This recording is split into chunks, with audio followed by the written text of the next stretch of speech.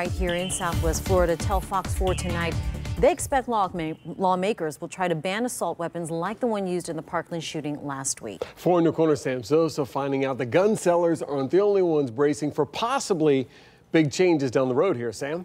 That's right, guys. This business owner actually thinks change is likely. And because of that, some people are going to his store to buy weapons they believe they might not be able to get their hands on soon.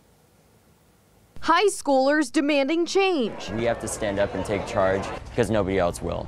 Because our elected officials certainly will. As they mourn the loss of their fellow students in Parkland. We can prevent some seriously nasty crimes and some seriously indescribable tragedies from occurring. And if somebody doesn't want to do that at this point, that's that's pathetic. And lawmakers are feeling the heat. Even President Trump considered some gun control measures today, telling media he supports efforts to improve background checks for gun purchases.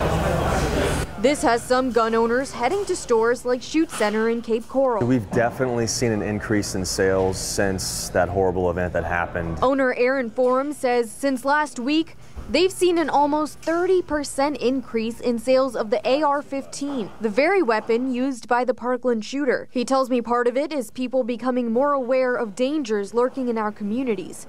But on the other hand, enough of our customers understand that if enough lawmakers get together, we're going to see another assault weapons ban like we did in 1994, which of course was a 10 year ban. That ban expired in 2004. In Forum's opinion, it didn't work. The statistics show that it was relatively ineffective. And truthfully, those types of firearms are not used prevalently in crime anyhow. It's mostly handguns. However, the AR-15 was used in several mass shootings in recent history, including the Sandy Hook shooting, the Pulse shooting in Orlando, and the shooting at a Las Vegas concert a few months ago. With this fresh in the mind of lawmakers, Forum says a new ban is inevitable. It may not happen in the next year or even two years, but it's most likely going to happen again. Guns banned in 1994 included the AR-15 and AK-47. I'm live in the studio. Sam Sosa, Fox 4, in your corner. Sam